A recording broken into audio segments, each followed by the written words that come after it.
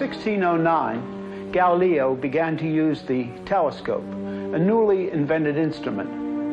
And what he saw and wrote indicated that Aristotle had been mistaken in his basic ideas concerning the makeup of the universe.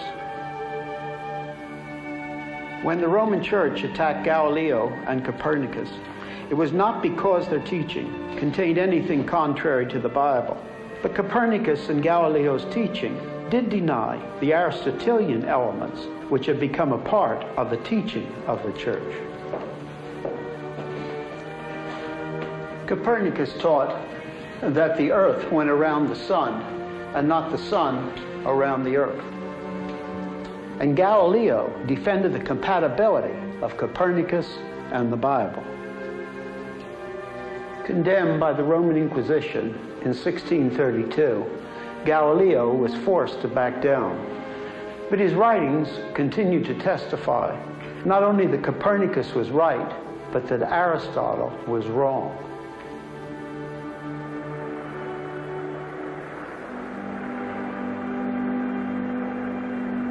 Blaise Pascal took a tube of mercury up a mountain and measured the changes in the mercury levels according to the altitude.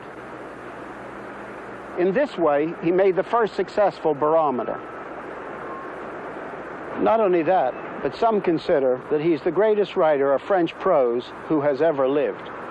He did not see man lost like a speck of dust in the universe, which was so much larger and more complicated than men had thought. For man could comprehend the stars. The stars comprehended nothing. And beside this, for Pascal, man was special because Christ had died on the cross for him.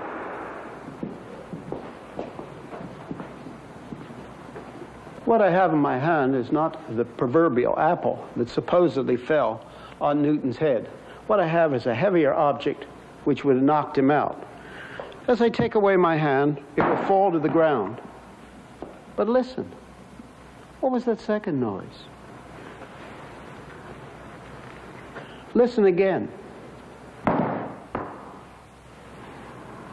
What you heard, of course, was an echo. Here at Cambridge University, Newton worked out the speed of sound by timing the interval of an echo over a known distance. He also came to the conclusion that there was a universal force of attraction between every body in the universe. He called this gravity. Newton's mathematical principles of natural philosophy became one of the most influential books in the history of human thought. It has been said that the 17th century scientists had an interest in the how, but not the why. Not true. For Newton and many scientists of that period, there was no problem concerning the why because Newton began with the existence of a personal God who had created the universe. Newton had an intense interest in the Bible because, in his view, the same God who had created the universe gave men truth in the Bible. Newton and the other men of that period would have been utterly astounded at anyone who had an obsession with the how uh, without having a professional interest in the why. Francis Bacon, lawyer, essayist, Lord Chancellor of England, stressed careful observation and systematic collection of information in order to unlock nature's secrets. He too took the Bible seriously, including the historic fall, the revolt of man in history. Man, by the fall, fell at the same time from his state of innocence and from his dominion over creation. Both of these losses, however, can, even in this life, be in some parts repaired. The former by religion and faith, the latter by the arts and sciences. To these founders of modern science, man, including his science, is not on his own. He is to take seriously the teaching of the Bible concerning history and the cosmos. And yet, art and science in themselves have value before man and God. This gave a strong impetus to the creative movings of science, not to be merely a passing thing, um, but to be continuous. God himself had given benevolent dominion over nature to men. And for Bacon, science had a part in this. To find out about the world was worthwhile because of men investigating God's marvelous creation.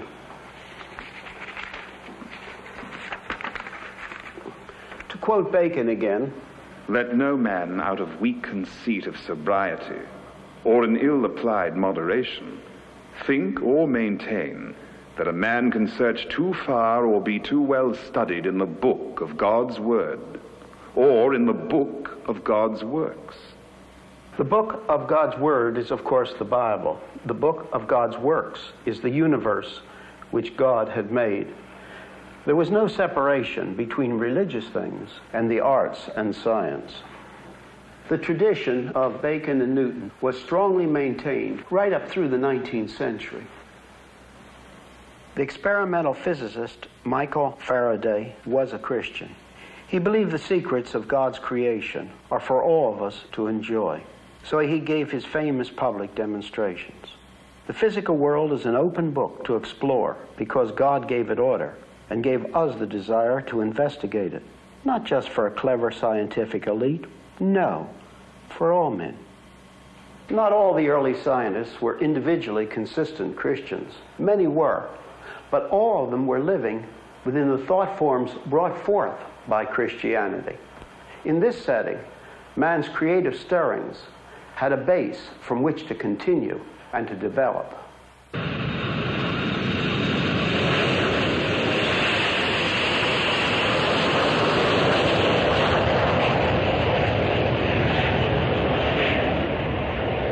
Knowing that the universe had been created by a reasonable God, the scientists, upon a Christian base, were able to move out with confidence, expecting to be able to find out about the universe by observation and experiment. Without this base, this foundation, modern Western science would never have been born. Without this base, Chinese science, though it had promising beginnings, never came to maturity. There was no confidence that the code of nature's laws could be unveiled and read, because there was no assurance that a divine being even more rational than ourselves, had ever formulated such a code capable of being read. And this was said by Joseph Needham, an expert on this subject. The same thing could be said about Arab science. Without a Christian base, they lost their interest in science eventually. The Christian base, then, did not hinder science. The Christian base made modern science possible. In 1962, J. Robert Oppenheimer said that modern science was born out of the Christian life form. His field was that of atomic energy. He was also director for the Institute of Advanced Study at Princeton. Alfred North Whitehead, well-known mathematician and philosopher, said that Christianity was the mother of science. These views were held both by the pre-Reformation church and also in the teachings of the reformers. Both held that the universe was created by God and that God is a reasonable God, as the Bible says he is. But we may ask, isn't science now in a new state, one in which the concept of an orderly universe is passe? It is often said that the worldview of relativity, that there are no absolute values and that everything is relative, is supported by Einstein's theory of relativity. But this is wrong. Einstein said uh, that light travels at a constant speed in a vacuum everywhere in the universe. Therefore, nothing is less relative uh, than the theory of relativity. Einstein himself was strongly opposed to this type of thinking. I cannot believe that God plays dice with the cosmos. We really do live in a cause and effect universe. If this space vehicle is to fly, it must be constructed according to the existing order of the universe. When something happens, No matter what we may say we believe, we look for something that happened previously as an explanation. If this were not possible, nothing could be explained, and science could not be applied with reliability. Because we live in a universe where cause produces effect, this space vehicle can fly thousands of miles and land exactly on target. You see cause.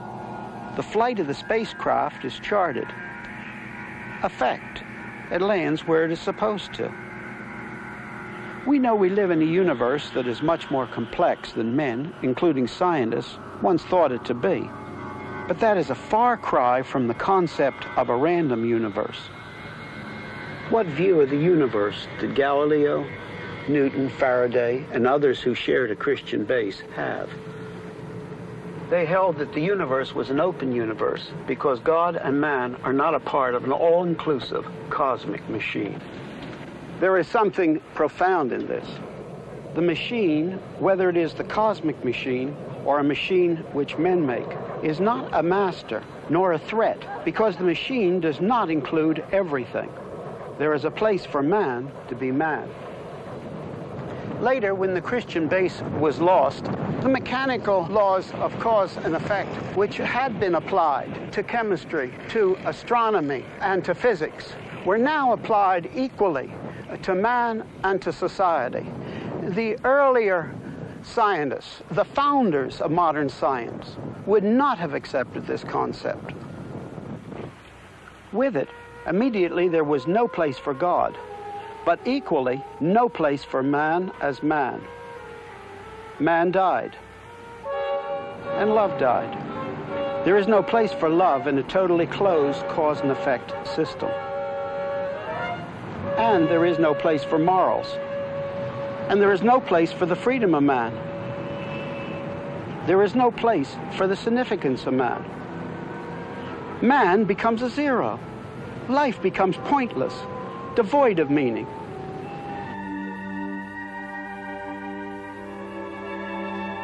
The older idea of man as someone observing nature was undermined by the idea that man is something to be observed, as no different from all of nature. Darwin, in his Origin of the Species, claimed that all life evolved from more simple forms through survival of the fittest.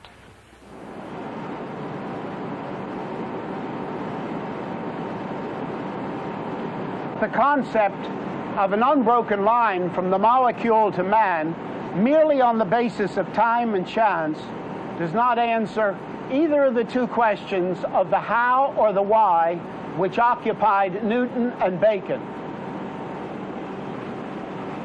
Murray Eden, professor of MIT, has made statistical studies which indicate that pure chance could not have produced the biological complexity of the world out of chaos in any amount of time suggested so far. Scientific Research magazine has discussed Murray Eden's work in an article entitled Mathematicians Question Darwinism. Has there been enough time for natural selection, as is seen through the eyepieces of Darwinism or Neo Darwinism, to operate and give rise to the observed phenomena of nature? No, say these mathematicians. No one has shown how man could have come from non man on the basis of time and chance. Tragically, after one has accepted the concept of the survival of the fittest, all restraints are removed. This opened the door for 20th century racism to be sanctioned and made respectable in the name of science.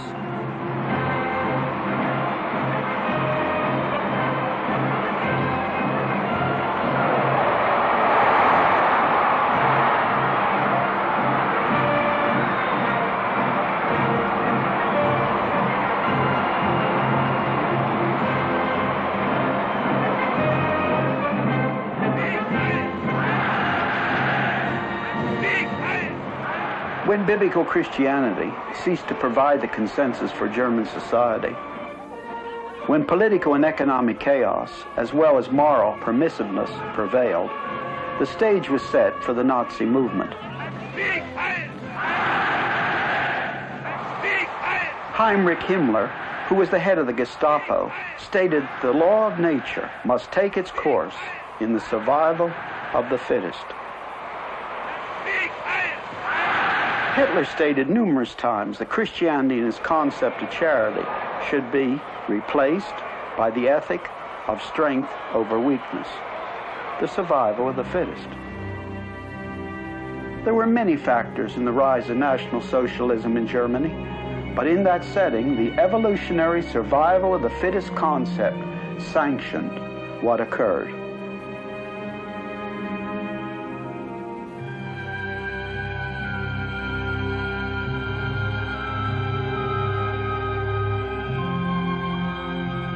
Humanism had set out to make man autonomous, and it turned out poorly.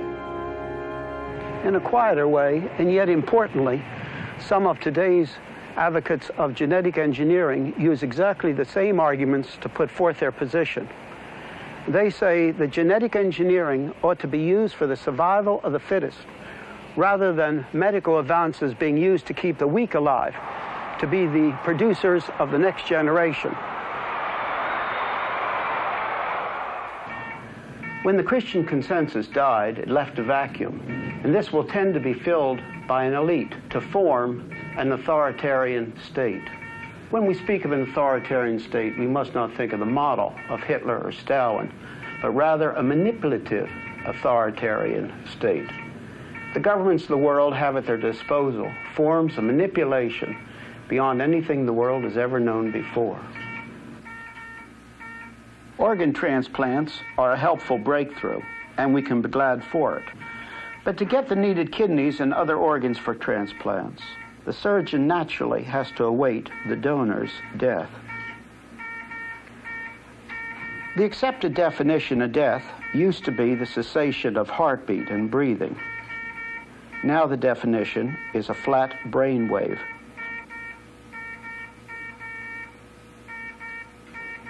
This is not wrong in itself, but it opens the door to harvesting the dead. With the brain wave flat, these bodies could be kept alive indefinitely to harvest their blood, to harvest their organs, for transplants, and for experimentation. Without the absolute line which Christianity gives of man being totally unique, things which are good in themselves can lead to an increasing loss of humanness. For modern man, there is no boundary line between what he should do and what he should not do. And this leaves him with what he can do. Any moral ought is only what is sociologically accepted at the moment. Now, as a Christian, I have a reference point in the Bible I have a reference point by what it teaches. And in this way, I have something to judge things by. Uh, but on the other hand, if I am left without any fixed point by which to judge things, without any cubbyholes, as it were, to fit the thoughts that are being thrown at me, I have no basis of judgment at all. I'm just left naked uh, before these things that are thrown at me uh, with no possible way of making a critical analysis.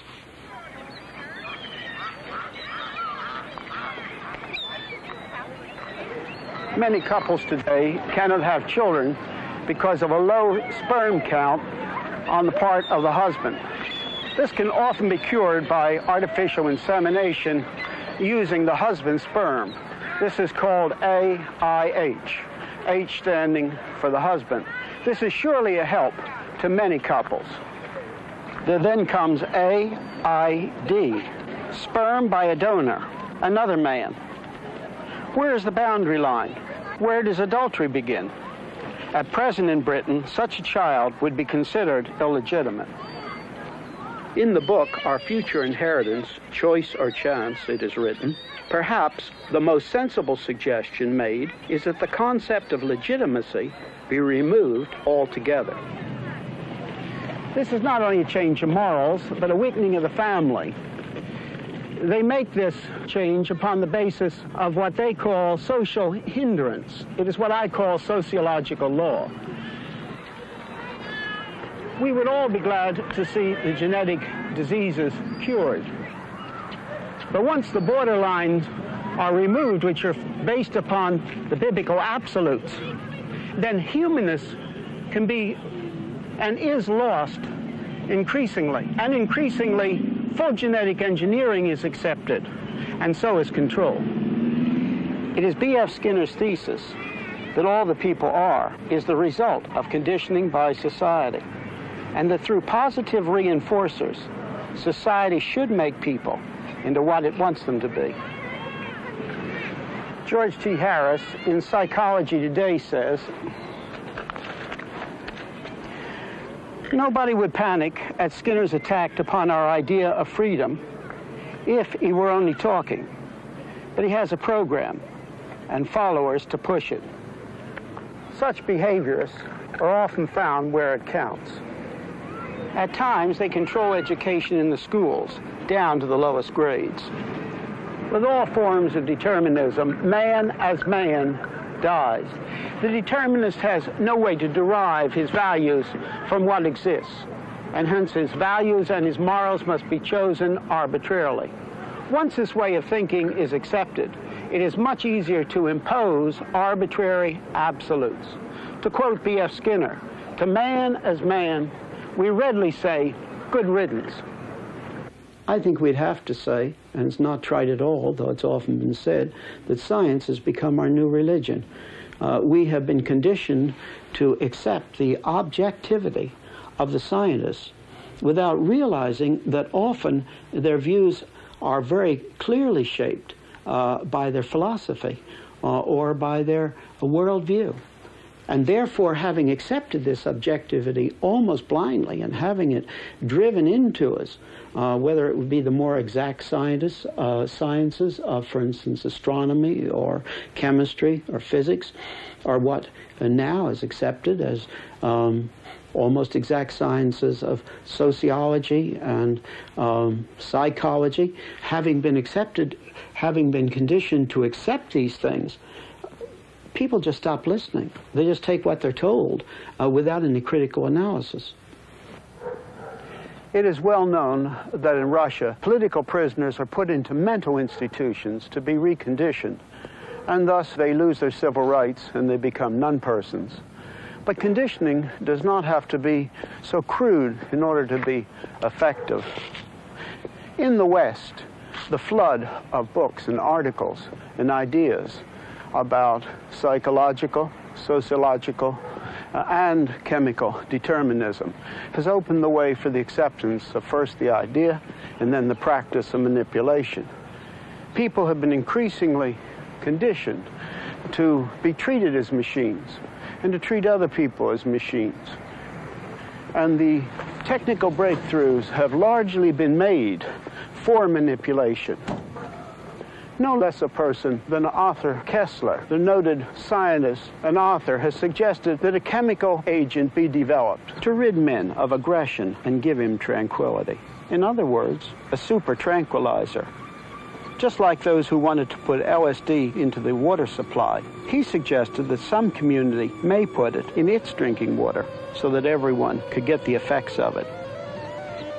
In this section, I'm giving that which has been reported in various newspapers and news magazines.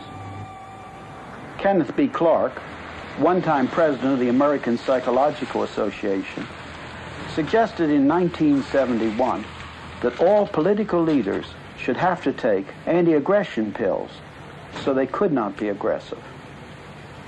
And the head of the gynecology and obstetrics department of the Kansas City University Medical School, Dr. Kermit Krantz, urged that birth control pills be put into the world's drinking supplies to control population. And some have suggested that the state could dispense yet another drug to certain households to neutralize the pill. This way the state could decide who could have babies and who could not. Russell V. Lee, clinical professor emeritus of Stanford University Medical School said that all public officials should have to have uh, psychological annual testing in depth. And in the case of a high federal official. If the committee thinks it's necessary, the findings could be turned over to a congressional committee who would have the power to remove the official from office. One little thing. The men who dispense the pills and who do the psychological testing will be king. Who will control the controllers? And what will happen now that the line between what man should do and what he can do is obliterated? And if man is only a conditioned machine, what is the value of the continuation of mankind?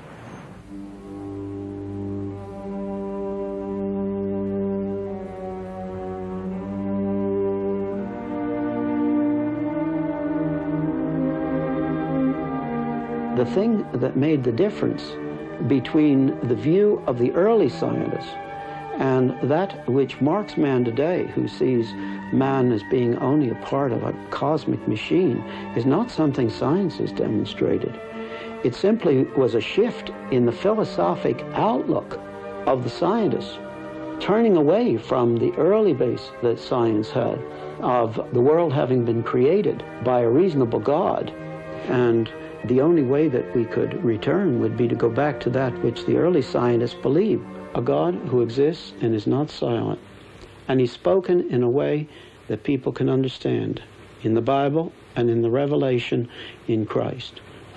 And in the Bible and in the revelation of Christ, we have truth that gives us the key of the whole of life.